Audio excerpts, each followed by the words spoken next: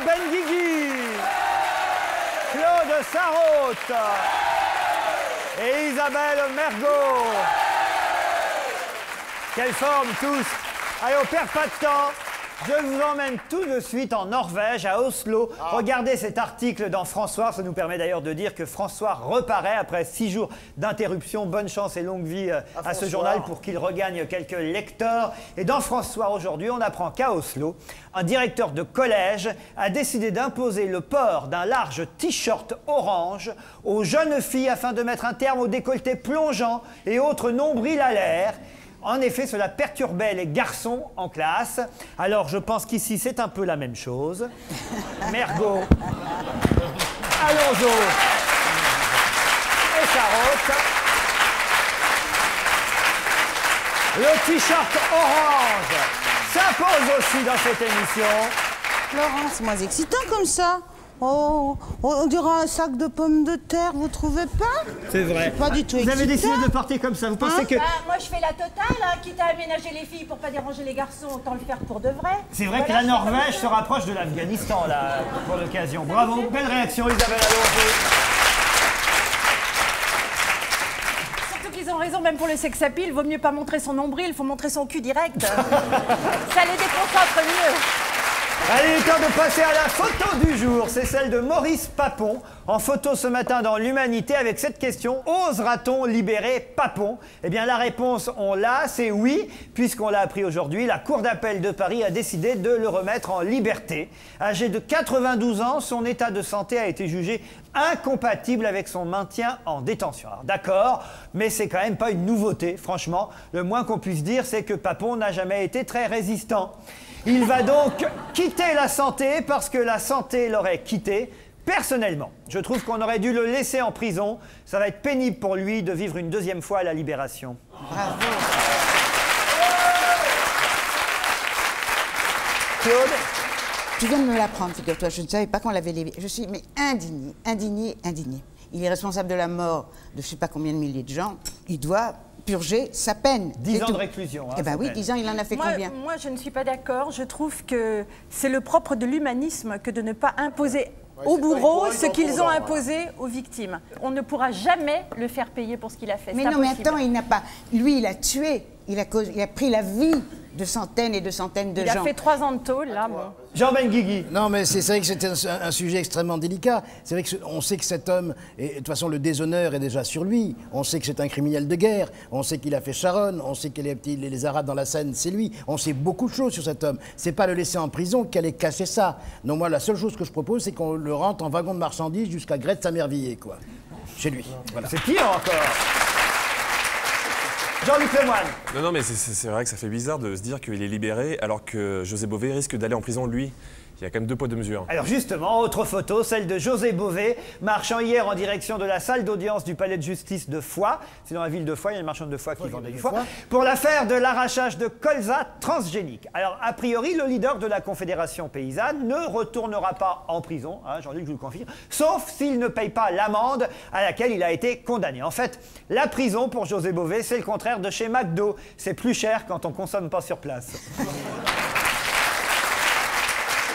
Restons dans les problèmes d'emprisonnement avec la tragédie de Neuilly et on le sait, les cinq pompiers tragiquement décédés dans l'explosion d'une chambre de bonne. Sauf que, on le sait dans la presse ce matin, le locataire et la fille du locataire qui vivaient dans cette chambre de bonne sont toujours écroués alors qu'on ne connaît pas les raisons exactes du drame. Mais les propriétaires de cette chambre de bonne à Neuilly, eux, sont en liberté alors qu'ils louaient au black, au noir, 20 mètres carrés pour 200 euros par mois. Ils sont quand même toujours libres. Alors avec toutes ces affaires, Maurice Papon libéré, José Bové qui va, qui retourne, qui ressort, Neuilly, les propriétaires en liberté, les locataires en prison, Edita Rumsas, la femme du coureur qui lui est dehors, on va finir par se demander de quel côté des murs de prison sont les vrais délinquants. Bravo. Jean Benguigui, Il ne faut pas embêter les propriétaires qui louent des chambres noires, parce que c'est assez rare, quand même. Au contraire, on devrait les récompenser. sauf que... sauf- Ils étaient polonais. Claude Sarraute. Vous les défendez, vous, les Oui, moi je Claude le défends. Je suis comme toi. Je trouve que c'est les propriétaires qu'on Est-ce que vous aurait. avez une chambre de bonne, Claude? Oui, j'avais, mais maintenant j'en ai fait un petit bureau. Peut-être qu'ils vont pouvoir loger Maurice Papon maintenant qu'il est libre. Mais ils ch- ils cherchent une chambre de Berlin, pas de bonne. hein. Juste un truc. C'est pendant son procès, tu sais, où il habitait dans les relais châteaux. Oui. Ah non, mais me parle pas de ce mec. Il me répugne. C'est normal, parce qu'il pouvait pas prendre un une étoile, ça lui rappelait trop de choses.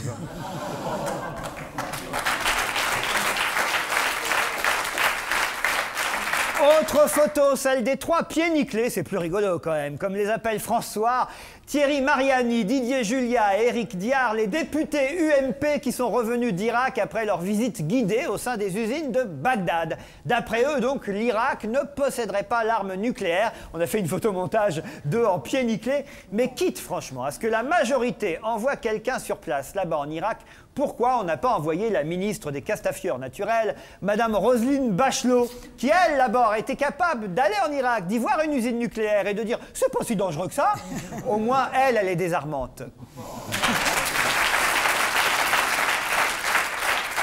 Isabelle Je trouve que tout le monde pousse des cris d'orfraie avec cette histoire. Ils sont allés voir ce qui se passe pour voir si on peut faire du business avec les Irakiens. Ça se passe tous les jours de manière discrète. Là, c'est parce que ça se voit. C'est quand même marrant comment les gens se scandalisent. Quant à Roselyne Bachelot, elle, fait partie depuis des années d'un comité des amitiés franco-irakiennes qui essaye de se préoccuper du sort des populations civiles irakiennes, dont on peut rappeler qu'elles sont bombardées tous les jours depuis 10 ans quand même. Tout ça, tout le monde oublie. Hein. Oui, oui, donc c'est un peu, ils vont un peu, un peu voir euh, Disneyland euh, en Irak. peu. est en forme aujourd'hui. Téléspectateurs, Parce qu'il a la place de Derek. J'ai l'impression que c'est l'esprit de Derek Non qui mais, reste. non mais, mais c'est vrai, l'esprit de Derek dans le corps de Mesrahi, il veut voir ça. Non mais moi ça me fait marrer parce qu'ils vont, ils vont voir si. Venez les gars, on va vous montrer qu'on n'en a pas de, de, de centrale nucléaire ou de, de- d'usine d'armement. C'est- d'une connerie. On n'est pas dupes, on n'est pas dupes. Ça va. Qu'est-ce qu'on en sait S'ils en ont, ils en ont pas? Ils vont- une fois qu'ils nous ont fait péter la bombe, on dit ah merde, ils en avaient une. C'est vrai. Dernière photo, plus gay, dans Gala, enfin gay, pas vraiment. Oh, c'est tragique, je devrais dire. Celle des ex-lofters, Laure et Fabrice, qui expliquent sur deux pages dans Gala pourquoi nous nous séparons. Mais non Ah, je- Non, vous pouvez pas dire ça Bah, j'ai- ah, j'ai- j'ai pas pu lire l'article, c'est trop triste. D'autant qu'à la une du même gala, le même hebdomadaire, Loana nous explique qu'elle est à nouveau seule. Non Non Non Remarquez bien que si elle allait chercher sa fille, elle n'y serait plus toute seule. hein. Il manque plus. Ah, depuis quand ça commence à bien faire cette histoire il manque plus que l'interview de Bourriquet qui nous expliquerait qu'il se sent trop seul parce que Stevie travaille trop. Gala, avant, c'était l'actualité des gens célèbres. Maintenant, c'est le magazine des gens qui cherchent une actualité pour le rester.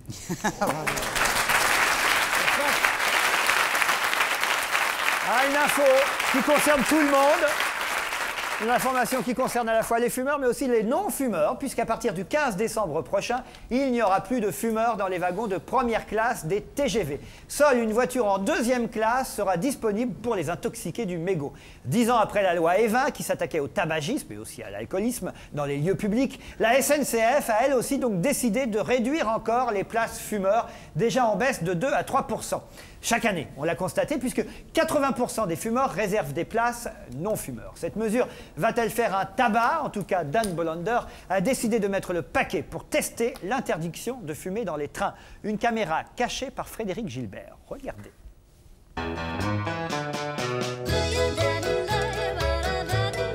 Bonjour, ici Dan Bolander. J'ai testé l'interdiction de fumer dans les trains. Vous n'avez pas le droit de fumer ici. hein. Ouais. Pourquoi vous passez avec votre cigare, vous Ah, parce que nous sommes des contrôleurs fumeurs. Non, c'est- Contrôleur fumeur, ça existe ça? Oui, nous sommes des contrôleurs fumeurs, oui, tout à fait. C'est-à-dire? Ben, nous, avons, nous avons le droit de fumer. Vous n'avez pas le droit de fumer. Ah bon? Qu'est-ce qu'il fait lui? Ben, lui, il fume. C'est c'est un contrôleur fumeur, monsieur. Hein? Nous sommes contrôleurs fumeurs. On est non fumeur ici Oui. Moi aussi je peux.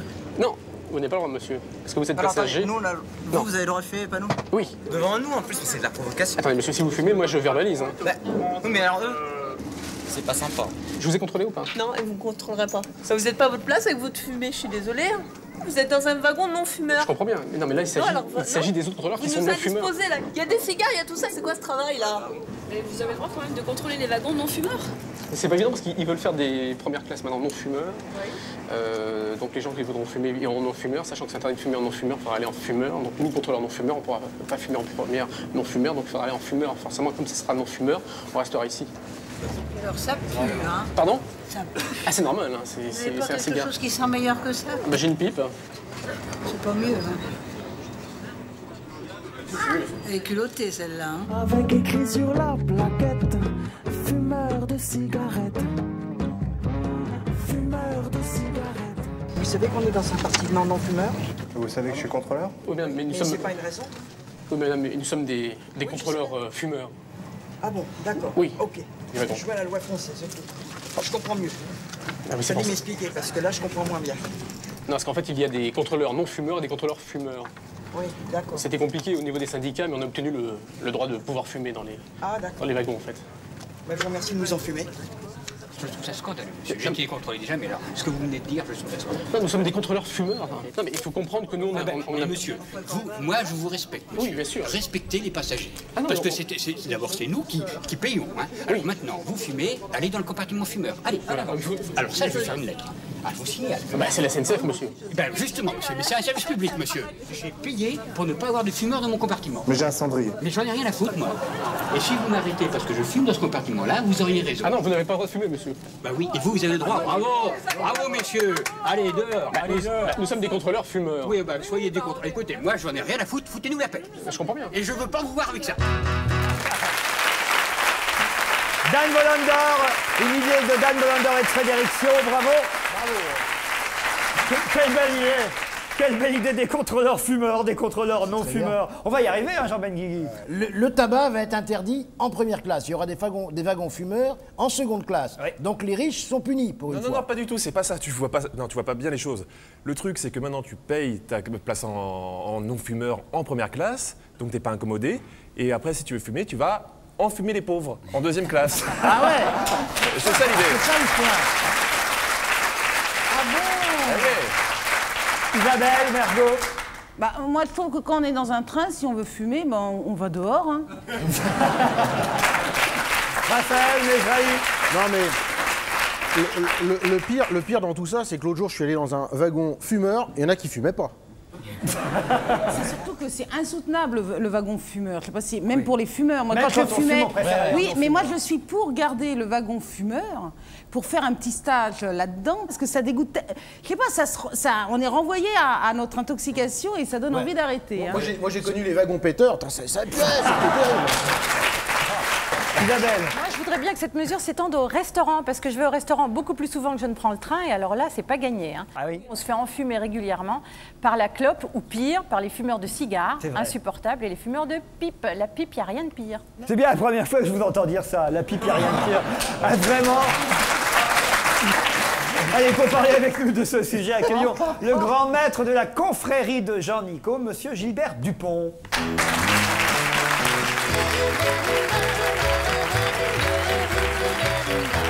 Bonjour, monsieur Dupont.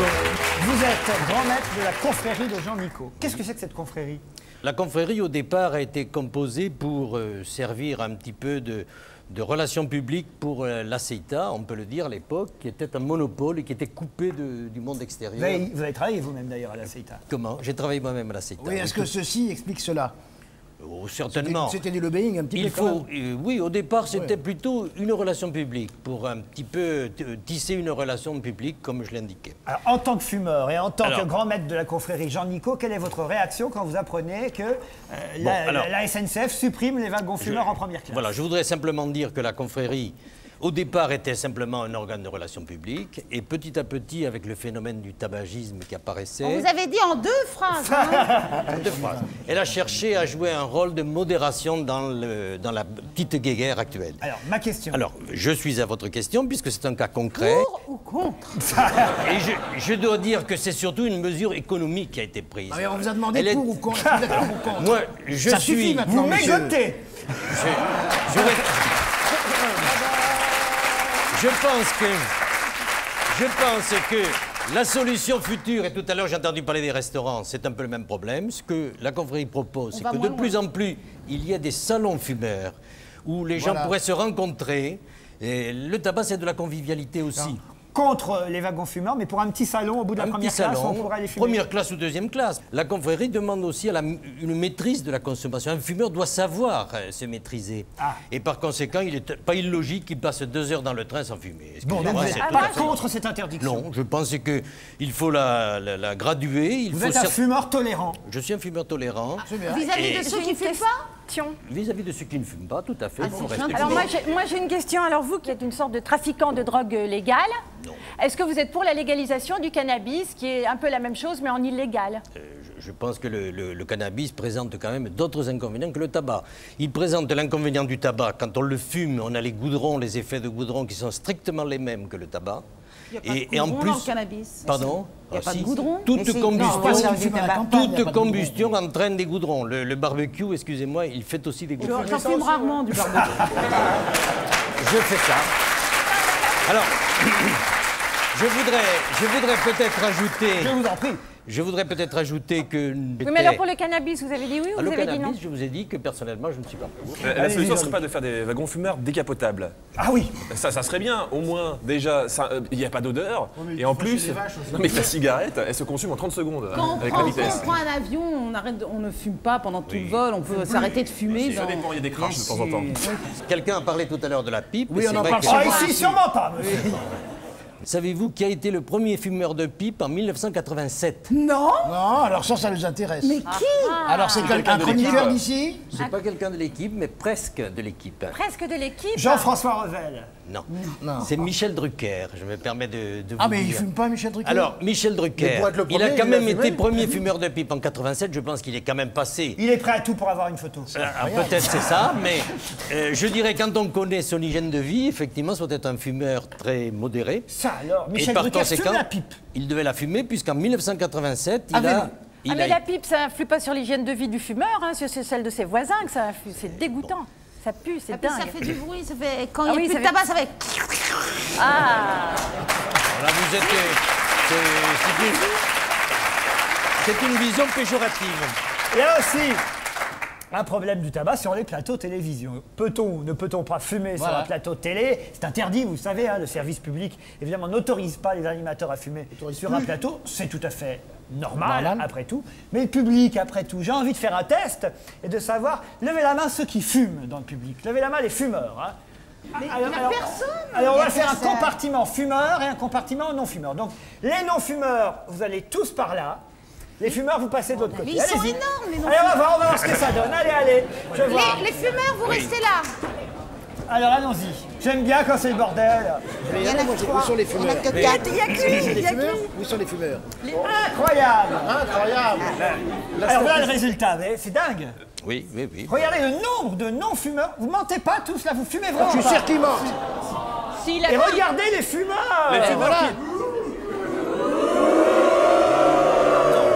Le la compartiment fumeur, le compartiment Oui, non-fumeur. mais là, elles ont triché parce que les trois dames ne sont pas venues. Mais pourquoi vous n'êtes pas déplacés, mesdames Ah, ça me fait Elles n'ont ça, pas le compris. Elles n'ont pas compris. Donc les Belges et les fumeurs par ici. Allez, regagnez vos places. Merci au public. Et quant à vous, monsieur Gilbert Dupont, on vous remercie en tout cas d'être venu témoigner. Et longue vie à la confrérie de Jean Nico, qui existe pas depuis quand? Depuis 1961. Depuis 1961. Et lui, Jean Nico, est arrivé en 1561 avec les ça, premières feuilles de tabac en France. Tout à fait. C'était les 400 ans de présence de tabac en France. Qui Eh bien, monsieur en Dupont, 1961. merci.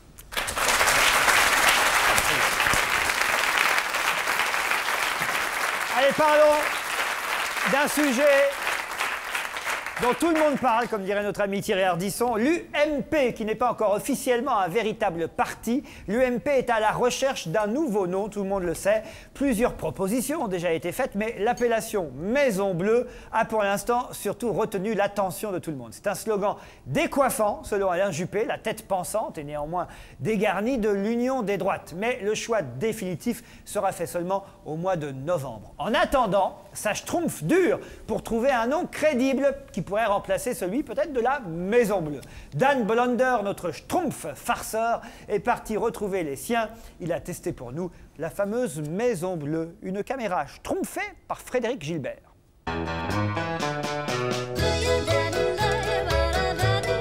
Bonjour, ici Dan Bolander. J'ai schtroumpfé chercher le grand schtroumpf Juppé à la Maison Bleue. La, la,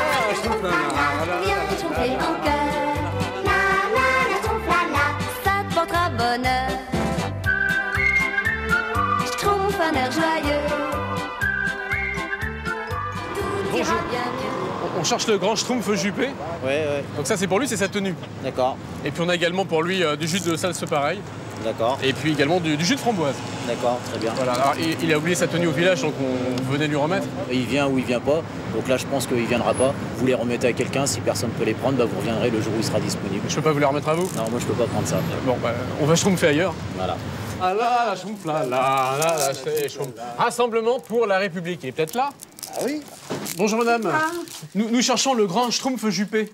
Oh Vous ne l'auriez pas vu? Non, vous allez rue de la Tour Maubourg. Et là-bas, on peut trouver le grand schtroumpf Tout- Juppé. Tout à fait. Parce que vous êtes au courant? Non. Non, parce que le, le grand chef Schtroumpf euh, veut faire une grande maison bleue. Une maison bleue accrochée à la, à la colline. Et on y va À pied, à oui, pied. et on, a, on entre comme on veut parce qu'on a jeté la clé. Exactement. Ça, c'est du jus de salse pareil. Vous connaissez C'est très bien. Oh, ça donne une patate La la trompe la la, viens tromper en cœur. La la la trompe la la, ça te portera bonheur. Bonjour. On cherche le grand Schtroumpf Juppé. Mais, euh, enfin, moi, je ne connais pas, mais vous montez au quatrième. D'accord, merci. Voilà. Bonjour. On voulait voir le grand Schtroumpf Juppé. Oui. Pour lui remettre sa, sa tenue de grand Schtroumpf. Vous êtes des... Des jupettes. Des Juppettes Ah Parce que nous, nous avons une Schtroumpfette au village. Ah oui. On voulait Schtroumpfer euh, le grand Oui, Schtroumpf mais, Juppé, euh, mais c'est oui, pas, possible. non, c'est pas possible. On peut- donc on, on peut pas Schtroumpfer alors Mais non, il n'est pas là de toute façon. Ah, il- d'accord. Non, non, il est à l'Assemblée. Ah, d'accord. On Schtroumpf le, le grand Schtroumpf euh, Juppé. Oui C'est pour lui remettre en fait euh, Oh, bah, sa, il va- sa il- te- sa tenue. Il viendra le chercher. Vous l'attendez, il va arriver. Ah bon, on l'attend Hein ici. Voilà. C'est lui dans la voiture, le grand Schtroumpf Le grand Schtroumpf, il est dans la voiture Monsieur Juppé Bonjour, ça va bien Bonjour, grand Schtroumpf Juppé Donnez-moi un peu de salse pareil. Voilà, c'est du salse pareil pour vous. Ah, elles sont excellentes.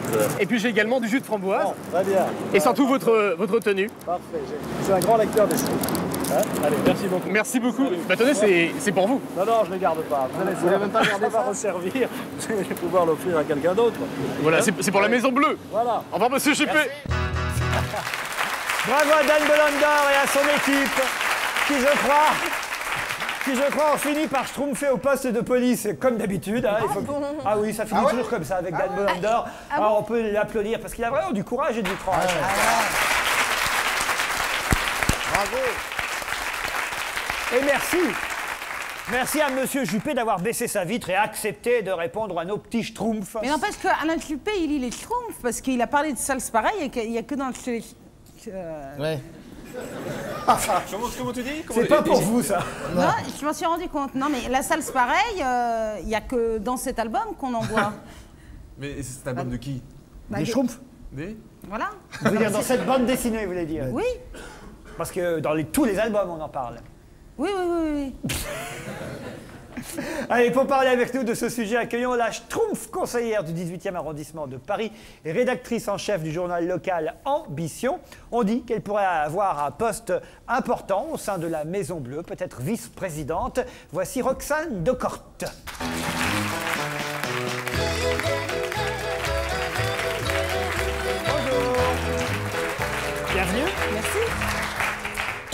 Vous avez été Seguinette. Vous risquez d'être Schtroumpfette. Je ne suis pas en bleu. Vous n'êtes pas en bleu Non, je suis en rouge. Ah, comme le grand schtroumpf Il est en rouge Je suis, je désolée pour le grand schtroumpf. Je suis désolée. C'est vrai qu'on parle de vous comme éventuellement vice-présidente euh, du nouveau parti euh, de la droite, qui ne sera plus donc euh, l'UMP, mais peut-être la Maison Bleue Non, mais pour Paris uniquement, hein, pas au niveau national, je tiens à vous rassurer. Mais je trouve ça assez fou parce que quand on fait preuve d'imagination ou d'originalité, tout de suite, ce sont les grands mots, les, les schtroumpfs. Alors que bon, euh, c'est une petite. petits, ils sont petits les schtroumpfs, hein, je vous assure. euh. Je trouve ça plutôt sy- sympathique.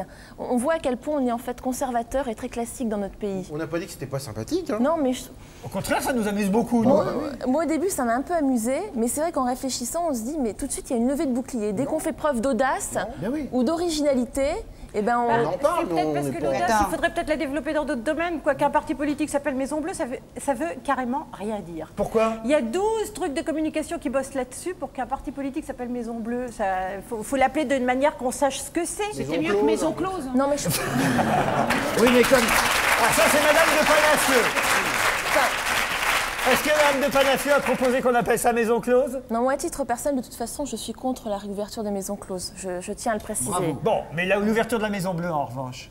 C'est un nom Mais qui vous va, vous? Non, il faut complètement banaliser la chose. Je veux dire, il y a eu plusieurs propositions qui ont été faites et c'était une fuite, euh, apparemment, d'agences de com pour un peu euh, avoir le marché parce que c'est un petit poussé qui est à l'origine de cette idée. Alors qu'il y a, des, il y a quand même gros- de grosses agences de communication qui sont plutôt un peu jalouses du fait qu'on parle que de la Maison Bleue en ce moment. Il y a deux autres agences qui ont réfléchi à des possibilités. Une agence propose l'union, tout simplement.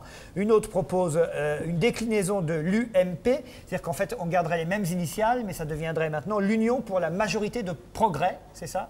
Et Est-ce qu'on pourrait pas faire un mix entre les deux, l'UMP, l'Union pour la maison pleut Tu vois des, des choses comme ça Votre choix, vous, euh, personnellement, ce serait plutôt? Moi, j'aime bien qu'on garde le cycle du MP, mais c'est vrai que Maison Bleue, je trouve ça assez original, assez audacieux. Il paraît que Juppé est d'accord avec cette idée parce qu'il aimerait bien avoir l'air drôle. Alors c'est pas comme ça qu'il faut faire, faut nous l'envoyer ici parce qu'on a réussi à rendre drôle Gérard Miller. Alors on pourrait y arriver avec Juppé peut-être. Il Bah, faut l'inviter. hein, faut- On va faut- l'inviter. Claude. Oui, d'ailleurs, pour en revenir à ça, il paraît que c'est pas du tout, c'est pour dédouaner. Il, il savait qu'il y aurait un tollé, et comme ça, il évacue l'idée de la Maison Bleue. D'ailleurs, je te signale, Roxane, que ce serait le seul pays dans tout le monde Oui. occidental qui aurait un parti politique qui s'appellerait comme ça, sauf Berlusconi avec sa Maison des Libertés. Non, la tendance euh, mondiale est de, de- de- de- de foutre en l'air les sigles, parce que pour, pour- pour changer le produit, pour, pour le rendre plus attrayant, et de l'appeler ou l'Olivier ou la Maison Bleue, c'est le même système. Mais c'est vrai qu'au municipal, en mars 2001, on a parlé d'une vague bleue pour, Oui. pour la victoire de la droite. Donc c'est vrai qu'on C'est la couleur utilisée le soir euh, des, des présentations électorales, des résultats électoraux à la télévision. hein. Le rose pour le PS, le vert pour les Verts évidemment, rouge pour le PC. Et c'est vrai que la droite, c'est toujours bleu.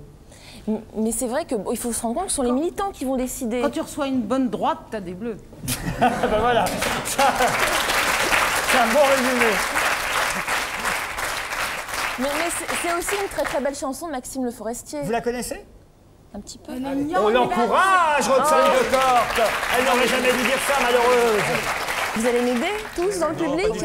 Mesdames et messieurs, pour la première fois, Roxane de Corte dans la Maison Bleue. C'est une maison bleue, adossée à la colline. On y vient à pied, on ne frappe pas. Ceux qui vivent là ont jeté la clé. On se retrouve ensemble après des années de route et on vient s'asseoir autour du repas. Tout le monde est là à 5 heures du soir. Quand San Francisco s'embrouille. juste me faire Sarko Anko à la place de San Francisco. Sarko Co. Alors, Sarko Co s'embrume, Sarko Co s'allume, Sarko Où, où êtes-vous? À Neuilly.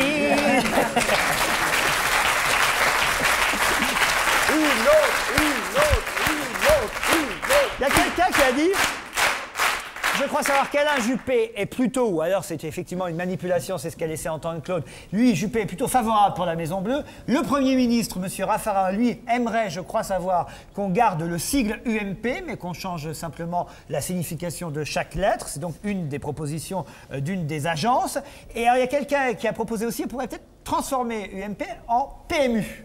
Ah, très bien. Ça ferait très France d'en bas, ça, PMU. Qu'est-ce que vous en pensez? Enfin, quand on parle de la France d'en bas, moi, ce qui m'inquiète surtout, c'est le nombre d'abstentionnistes qu'on a à chaque élection. Oui. Et c'est plutôt ça que j'appellerais la, la France d'en bas. Et euh, le nom, c'est pas vraiment ce qui est essentiel. L'important, c'est qu'on soit un, un grand parti populaire, parce que sans ça, c'est- pas la peine de. Enfin, de faire une grande machine si on n'est pas avant tout avec euh, beaucoup de militants et beaucoup de personnes qui ont envie de s'engager. C'est ça la clé. Des jeunes et des femmes surtout. Une Maison Bleue, on le saura quand? Mar- mardi, le Conseil des fondateurs de l'UMP va décider les propositions qui seront soumises au vote des militants le 17 novembre prochain. Dites, euh, Ben Guigui, vous direz du bien de, de, de- de Roxane À tout le monde, je veux dire du bien de Mais Roxane. ils le savent déjà. Mais Ils c'est le vrai savent, a- c'est une femme bien, Roxane. C'est vrai le qu'elle donne une autre image de la politique que les vieux crocodiles du, de l'UMP, Maison Bleue, RPR, etc. etc. D'ailleurs, à Carcassonne, la Maison Bleue, il y a un auditeur euh, à Europe 1 qui m'a envoyé un courrier pour me le dire. À Carcassonne, la Maison Bleue, c'est une maison de retraite. Il m'a dit bah, qu'ils y aillent. Mais c'est tu sais, c'est vrai ce que tu dis, Laurent, parce que bleu, ça a une connotation pour les vieux. Par exemple, radio bleu, pendant- jusqu'à tout récemment, c'était la radio pour les Cheveux vieux. bleus aussi. Cheveux bleus aussi. Souvenez-vous, Lionel Jospin. C'est la couleur de l'Europe aussi, le bleu. Et c'est la couleur préférée des Français. C'est vrai? Pas depuis la Coupe du Monde. Allez, ce sera le mot de la fin. On remercie Roxane de Corse que j'embrasse. Est-ce possible oui, tout est possible. On applaudit Roxane, merci et bravo. Merci, Merci à vous. Merci, Merci. d'avoir accepté l'invitation. Dites bonjour à Monsieur Juppé qui a été sympathique. Musique, chanson, variété. La rentrée est chargée pour Laurie, la nouvelle coqueluche des adolescents, puisqu'avant de partir en tournée le 28 septembre prochain, elle sort quasiment simultanément son deuxième album qui s'appelle Tendrement, dans les bacs depuis lundi, et un livre, Mes secrets, les secrets de Laurie, aux éditions Robert Laffont, livre que vous trouverez dès la semaine prochaine. Une sortie de journal intime illustrée par de nombreuses photos de la chanteuse Laurie, souvent injustement, il faut bien le dire, assimilée à Britney Spears, ce qui vraiment est injuste puisque Britney Spears n'est pas française. Pour tester son livre Mes secrets et son album Tendrement, recevons celle qui a chanté Près de moi, je serai ta meilleure amie ou toute seule, toute seule. Voici Laurie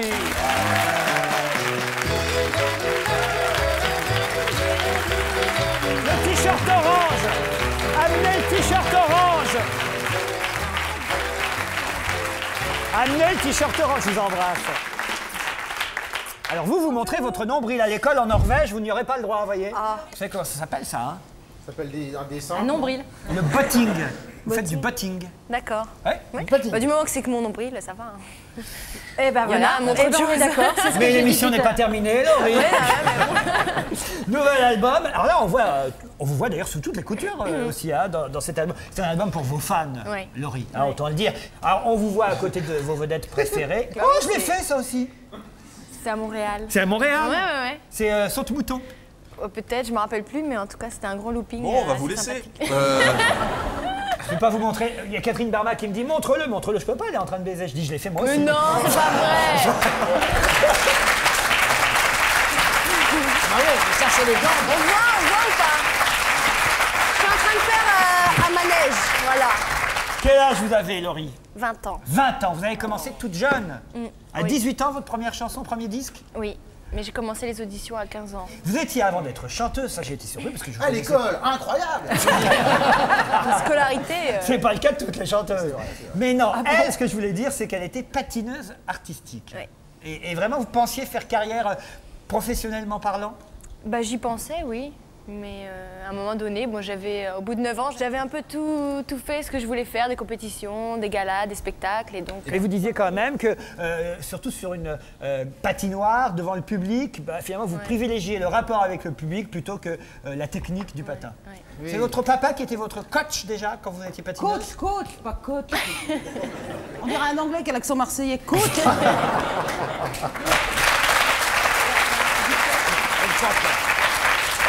Et le nouvel album, c'est le deuxième deuxième. Deuxième album s'appelle donc Tendrement. Le premier extrait, c'est J'ai besoin d'amour. Voici un extrait du clip.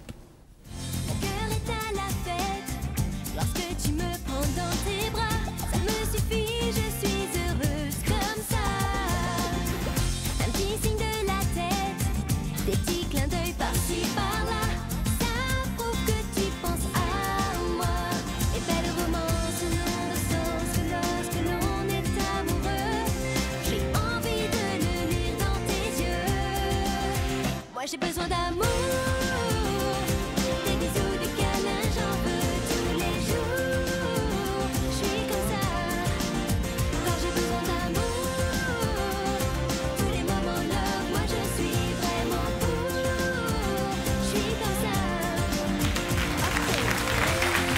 Alors Laurie, faut bien le dire, vous faites un carton. Le premier single Près de moi s'est vendu en 5 semaines à 600 000 exemplaires quand il est sorti à Mhm, l'époque. mhm. Et puis le premier album, Près de toi, était disque de platine en deux mois. Mm. Ça veut dire que vraiment les fans s'arrachent vos Ouais. CD.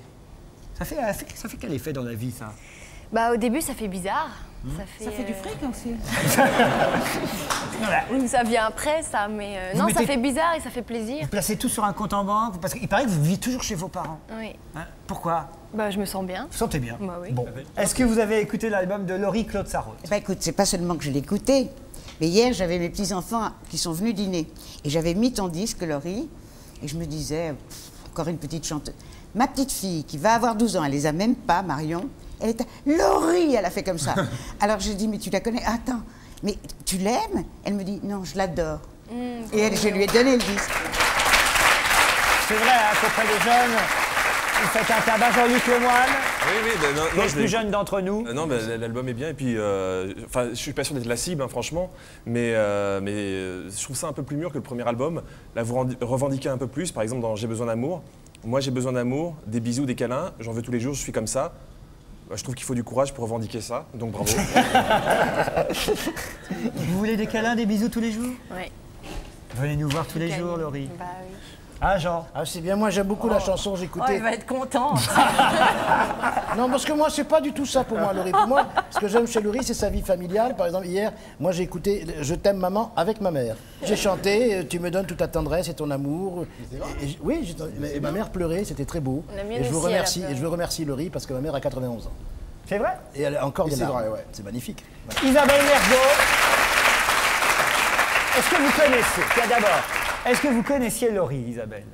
Laurie, je la connais avant tout le monde. Je l'ai connue, elle était toute petite, elle ne s'en rappelle pas. Si, je m'en rappelle. C'est pas. Bah Oh, oui. tout, tout, tout. Ah bon, pourquoi?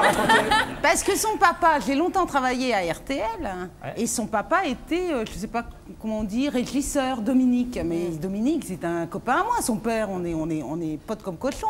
Et puis un jour, il est venu avec la petite, et puis il n'arrêtait pas de me parler de sa fille. Eh bien, fille. je vous présente votre maman.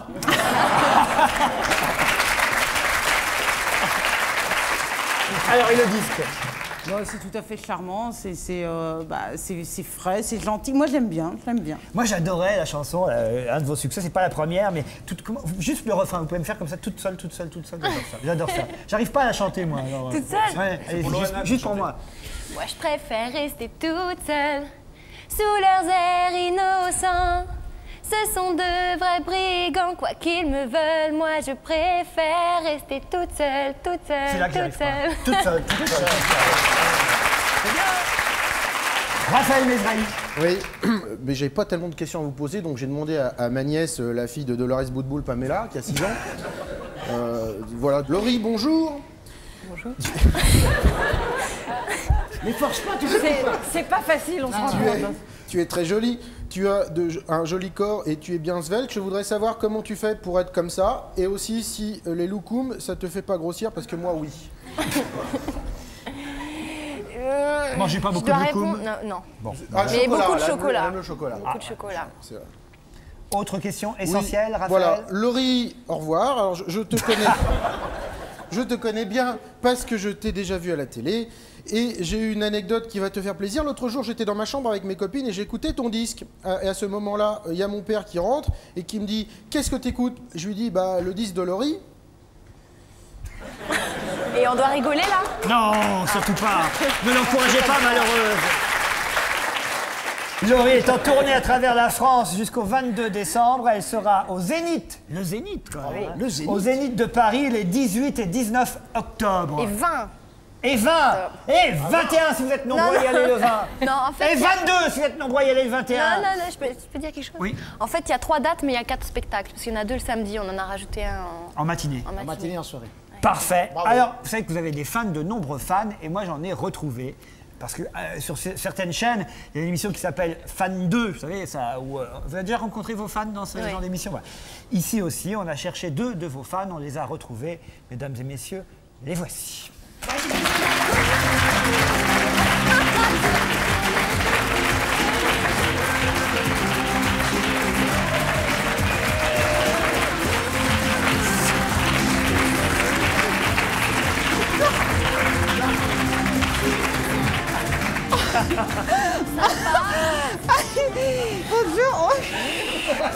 Oh là là, oh, écoute, mais touche mon cœur. Bon, bonjour, je m'appelle Nadia et je suis fan de Laurie. Oh, ça fait bizarre. Salut. Je m'appelle Timothée, j'ai 13 ans et je suis fan de Laurie depuis le début de sa carrière, c'est-à-dire depuis 5 mois. Alors merci Monsieur Ruquier de nous avoir choisi dans le grand concours. euh, Pas Ruquier, suis- Boyer, Boyer. Boyer de nous avoir choisi dans le grand concours. Je suis fan de Laurie et je le vis bien. Comme ça, ça nous permet de voir notre idole. Alors écoute, je me suis dit, comment, regarde comme ça, je suis comme ça. C'est trop super, top, top, top. Euh, non, chez moi c'est 8.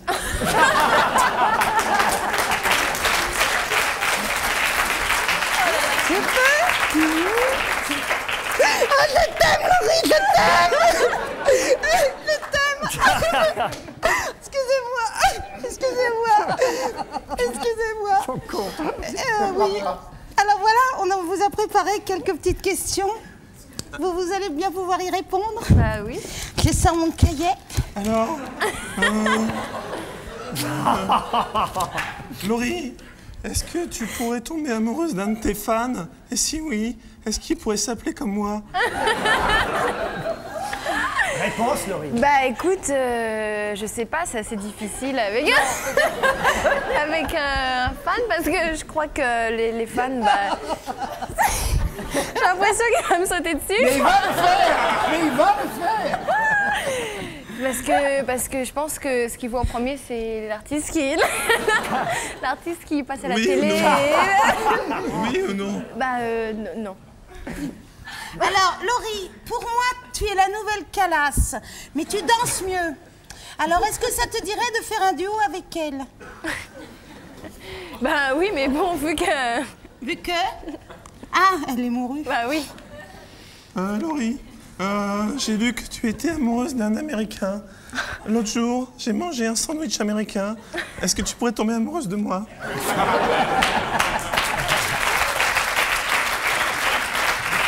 Alors, déjà d'une, je ne suis pas amoureuse du tout. ni d'un Américain, ni de quelqu'un qui mange un sandwich américain. Donc euh, voilà. Un Philippin non plus, parce qu'on a lu dans la non, presse, Billy Crawford, tout ça, c'est des conneries Des conneries. Merde, alors. Alors, Laurie, Encore raté. alors, Laurie, au collège, on me dit souvent Qu'est-ce que je te ressemble? Et toi Est-ce qu'on te dit souvent Qu'est-ce que tu me ressembles? Ah, Tout le temps, on me le dit tout le temps. Ouais. Euh, Laurie, euh, euh, est-ce que ça te gênerait si je rentrais chez toi la nuit, une rose à la main, et que je te regardais dormir en te léchant les cheveux Euh, bah déjà, d'une, je pense pas que tu pourrais rentrer chez moi comme ça. Et les cheveux? Et les cheveux non plus, non. Ah, merci, t'es super génial, vraiment d'avoir répondu à toutes nos questions. Alors, avant de partir, on a des cadeaux pour toi. Alors, euh, j'ai entendu dire que tu adorais jouer au bowling, c'est vrai? Alors, voici euh, une quille euh, à l'effigie de Britney Spears. Sympa. Voilà. Moi- viser eh, dedans. moi aussi j'ai un cadeau. Euh, j'ai lu sur ton site que tu aimais le Nutella et les chapeaux. Oui. Donc je t'ai ramené un chapeau Nutella.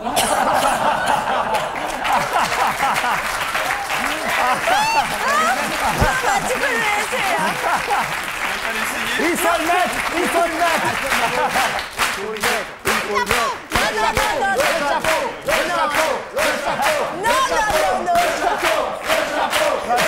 Il y en a qu'un qui est capable de mettre ce chapeau au Nutella sur ce plateau, c'est, à votre avis, qui?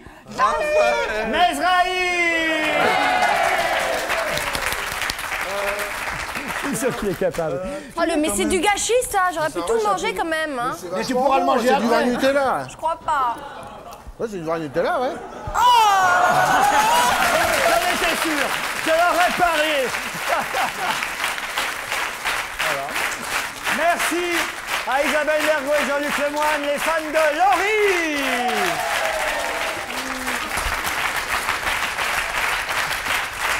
Laurie. Oui. Avant d'aller au Zénith, les 18, 19 et 20 octobre, vous nous accordez encore quelques instants Y a pas de problème. pour rester pour la dernière rubrique de l'émission qui s'appelle le... le... Vu qui Kikazuki Alors, à vous de retrouver Les personnalités présentes sur ces photos, on les a parfois un peu transformées, en tout cas caché une partie de leur visage ou de leur corps, pas toujours. Regardez cette première photo. Ah si, Ah, je la sais. Attends, c'est laquelle C'est qu'il la- petite maison dans la prairie. C'est la petite maison dans la prairie. Regardez, c'est les comédiens tels qu'ils Ouais, sont ouais, aujourd'hui. Ah oui. Et regardez tels qu'ils étaient il y a quelques années. Oh, c'est triste. Voilà. C'est triste, hein Ah, c'est triste. T'es une poufiasse. Voilà. Depuis le temps. Ah, vous aimiez la petite maison dans la prairie? Bah oui, je regardais quand j'étais petite. Oh là là, les Ingalls, ils étaient sympas, mais alors les Olson, l'épicière Ouais. Olson. Ah, la Nelly. petite fille Olson. Ah. Ah. Nelly. Est-ce que vous savez pourquoi ils sont dans Gala cette semaine Ils sont. Parce que. Mais- Certains, hélas, oui. C'est parce que, euh, voilà, le DVD de la petite maison dans la prairie sort, on pourra se visionner chez soi Mais tranquille. c'est génial parce que c'est vrai que c'est pas rediffusé depuis des années, donc on se demandait quand est-ce que ça va sortir. Allez, autre qui Maxime Le Forestier Maxime Le Forestier et. Mylène ça- Farmer Pas Mylène Farmer. C'est un garçon ou une fille C'est une fille. Oh. Ah, demandé. Chanteuse Une chanteuse, non. C'est pas sa sœur C'est pas la sœur de Maxime Le Forestier. C'est sa mère. C'est les vendanges de Montmartre. Ils ont hier Ah. récolté le vin aux vendanges de Montmartre. C'est le pas Carole Bouquet Non. Non, non, non. Virginie. Lemoine. Virginie Lemoine. Lemoine. Bravo Jean-Luc, c'est son frère. Virginie Lemoine et Maxime Le Forestier. Qui a déjà goûté le vin de Montmartre? Non? Non, mais Virginie Moi. Lemoine, oui. Enfin, mais ça- Non, mais elle l'a goûté, je veux dire, le vin. Ah, bon. Ah, évidemment. Allez, autre qui a vu qui? Patrick Juvet. Allez-y. Britney et sa petite Hein sœur. C'est- Allez, dites-le très fort, on vous a pas entendu, c'est? Britney et sa petite sœur. Britney Spears et sa petite sœur. Bravo Laurie C'est dingue comme elle lui ressemble. Hein qui serait au Zénith le 18, 19 et 20 octobre à Paris et en tournée avant à travers toute la France. Puis euh, Je t'aime maman, c'est la chanson qu'a préférée Ah, euh, c'est ma Jean chanson. Benguigui. Et le prochain single, on sait déjà lequel c'est? Non, pas encore, mais euh, j'ai des petites idées. Peut-être pour que tu me reviennes. Peut-être. En tout cas, on vous accueillera à nouveau pour le deuxième single. C'est promis, vous étiez ravissante, charmante. Merci. Merci Laurie. À demain, 18h.